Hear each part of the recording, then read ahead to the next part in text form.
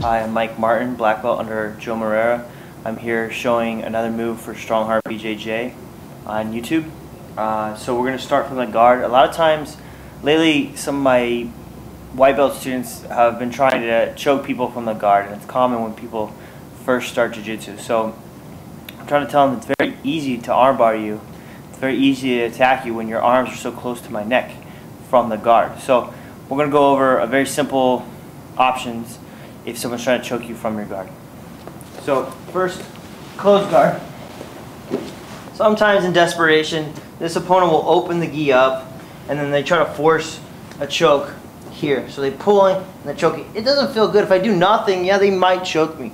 All I'm going to do is I'm going to lift my hips and I'm going to try to put my thighs over the shoulders and I'm going to lock my legs. All right. The easy one is just an armbar. Tap. Okay. They have nowhere to go with their arms. But say I, I he tries to choke me again. As I pop up, he pulls an arm out. I'm just gonna put my foot on the hip, pull my heel to me, and I have my triangle. And then the third option would be he tries to choke me. I go for the arm bar, pulls the arm out, and he turns. If he turns, then you just have your omoplata.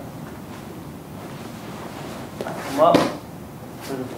So from another angle, uh, same thing, he's trying to choke me from the guard, he opens it up. I step the uh, uh, thighs over, clinch, and lift for the armbar. Now he pulls the arm out.